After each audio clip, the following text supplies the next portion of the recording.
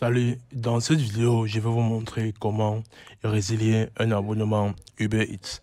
Cette procédure sera relativement simple. Premièrement, vous allez d'abord vous connecter à votre compte Uber Eats, puis cliquer sur l'icône de, de, ton profil situé en bas à droite de l'écran. Cela te mènera à la page de ton profil où tu peux gérer tes informations et paramètres.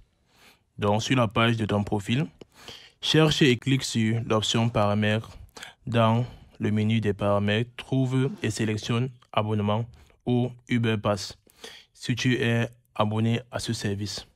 Une fois dans la section des abonnements, tu verras les détails de ton abonnement actuel. Clique sur Gérer l'abonnement ou Gérer le plan. Tu devrais voir une option pour résilier ou annuler ton, ton abonnement. Clique sur Résilier l'abonnement ou Annuler l'abonnement. Uber Eats te donnera donc te donnera de confirmer ta décision. Assure-toi de lire les conditions de résiliation. Clique sur confirmer ou oui pour finaliser la résiliation. Après avoir résilié, tu devrais recevoir un email de confirmation de la part de Uber Eats.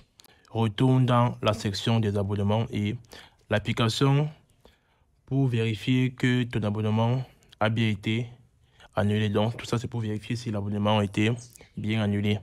Et voilà, c'est aussi simple que ça.